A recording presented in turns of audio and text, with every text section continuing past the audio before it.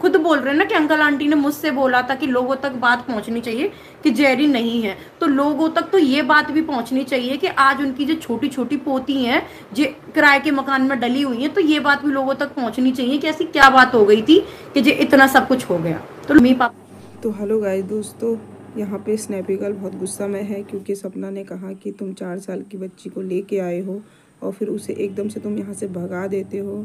क्योंकि वो बच्ची जब हमारे घर आई थी, तब चार साल की थी कि राजवीर जी और सूरज जी पढ़ाई करते थे ग्वालियर में तो इस वजह से अंशु को लेके आए थे ताकि हमारा घर हमेशा खरा भरा रहे। मैं अकेली हूँ, मेरे साथ थोड़ा बोलने चालने वाले रहे, लेकिन आज अचानक ऐसा क्या हो गया कि उसकी पढ़ाई ख़त्म करके इन लोगों ने सब कुछ बर्बाद कर लिया छंद पैसों के लिए, और जो इनका पड़ोसी है वो वीडियो बना बना के डाल रहा है, वायरल कर रहा है अपनी वीडियो।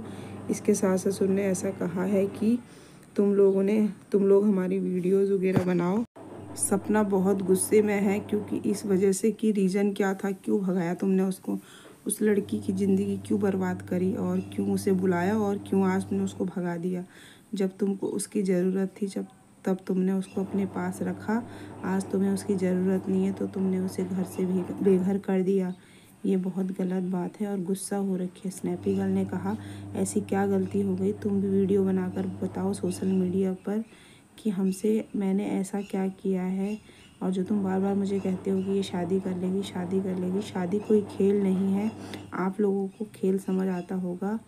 बहुत गुस्से में है स्नैपी गर्ल और उसने अंशु के बारे में बहुत कुछ कहा है क्योंकि उसने, उन्होंने कहा कि, अंशु की ज़िंदगी पूरी बर्बाद कर दी है, जो ये लोग इनके वीडियोज़ वगैरह बना रहे हैं, ये अपने चैनल को बढ़ावा दे रहे हैं।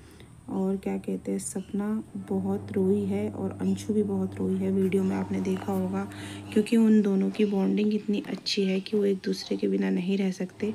और बचपन से ही अंशु उनके घर रही है और उसके साथ उसका काफ़ी अच्छी बॉन्डिंग है। और पति उसके चले गए, लेकिन उसने अंशु ने उसका बहुत साथ दिया और अंशु रो रो कर बुरा हाल हुआ है कि मैं सपना के साथ रहना चाहती हूँ। इन्होंने मुझे नहीं रहने दिया। और देख सकते हो आप, इनका जहरी है ये।